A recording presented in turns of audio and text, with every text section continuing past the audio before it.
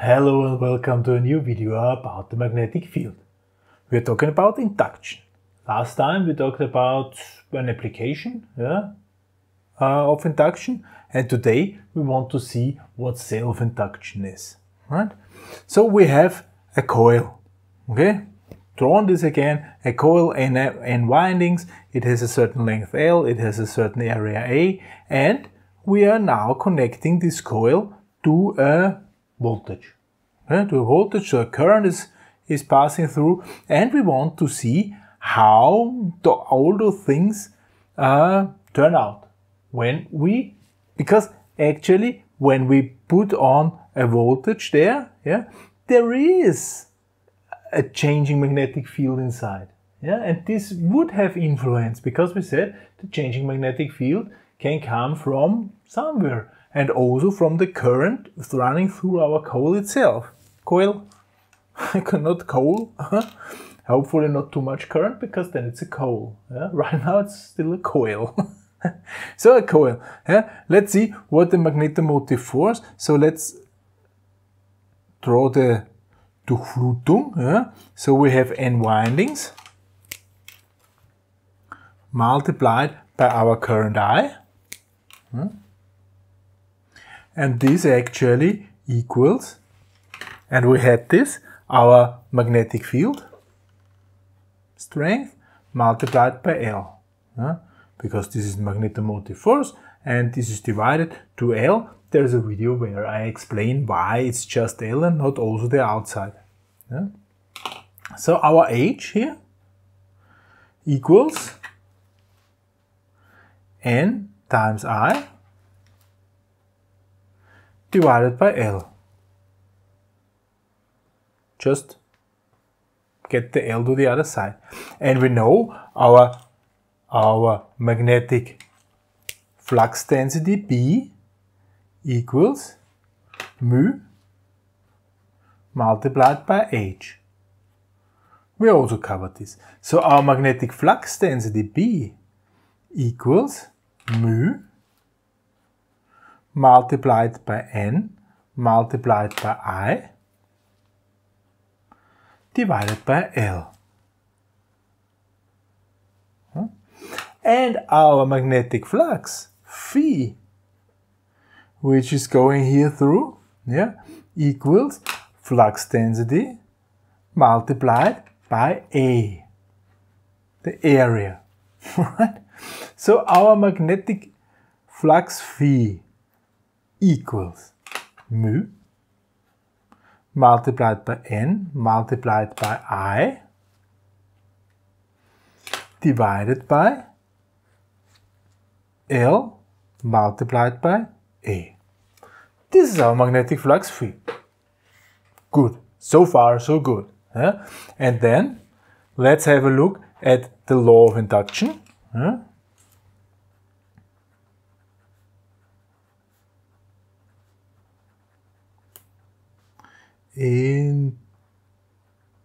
Induction.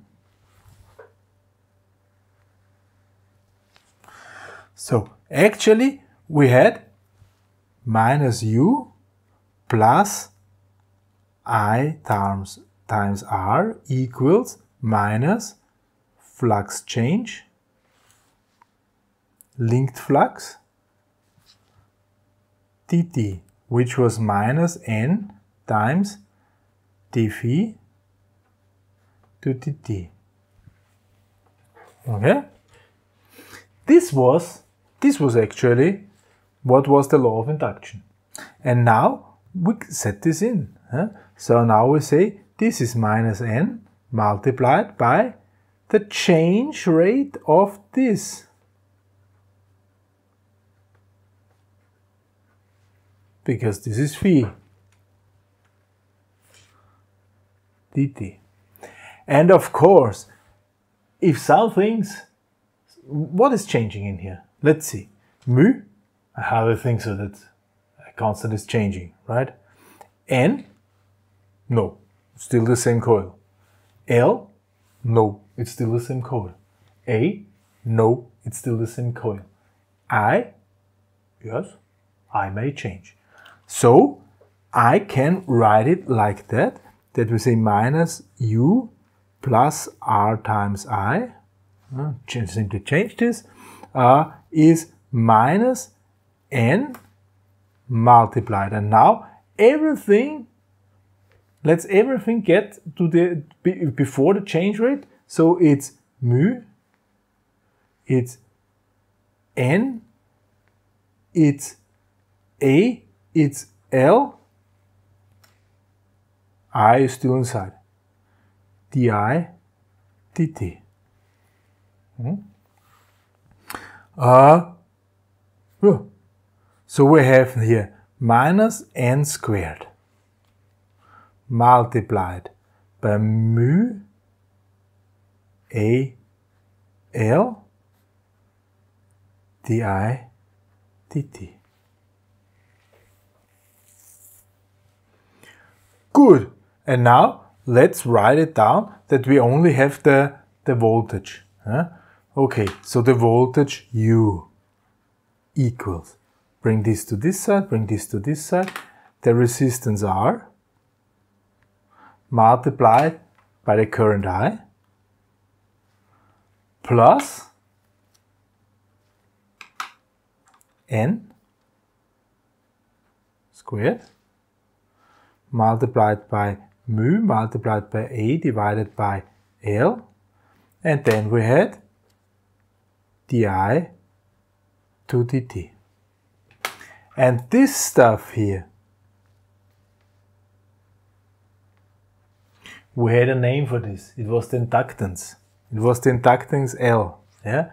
So actually what we are seeing here is U equals R times I plus L times and the change rate of I.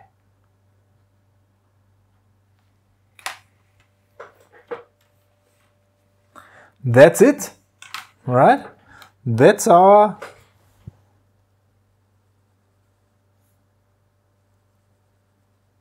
finding. Let's analyze this for a moment. Do you know this? U times R, R times A? Ohm's law. I told you it's important. So this is the, the ohm part of this. It's the current passing through a resistor and so we need a certain voltage. And then there's another thing. Yeah? There's the inductance multiplied by the change rate of the current. Okay? This is the magnetic part. This is the ohm part. This is the magnetic part. Yeah? So the magnetic part will also add something to to the to the uh, voltage at the coil, and this might be significant. Yeah, because uh, thinking about turning off a coil, huh? then this di to the d, if you just cut off, cut open a wire, open open a switch, yeah, then this is very high. So we have very high voltages. It's not that easy to turn off coils. Yeah? If there is already current passing through the coils, this will not, this, this, this, there will be high peaks of, of, of, of voltage in there. Yeah? So that's it. We have ohms part, we have a magnetic part. Self-induction, this is called. Yeah? This is called self-induction and well, that's see it's just straightforward. Just writing it down, setting into the law of induction, and then we get this. Yeah? And there is, a, remember, yeah, what was, what was the uh, current? Yeah, equaled uh, the capacity times the, the change rate of the voltage. Yeah? Change rate of the it, it's the same form like for a capacitor, but it this voltage and current switch places and there's an inductance and not the capacity. All right. So we will notice this more often in future that these coils and and uh, uh, capacitors do behave similar, but exactly the other way around. Yeah, it's not yin and yang, it's, it's coil and capacitor in our case here. Huh? Self-induction, yeah, that's an effect.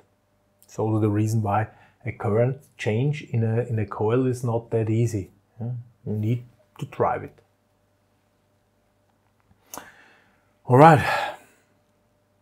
Next time we come to a very important part of electricity.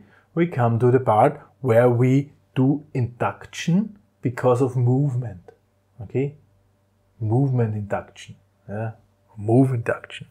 This is then in next video. For this time, thank you very much for listening. Goodbye.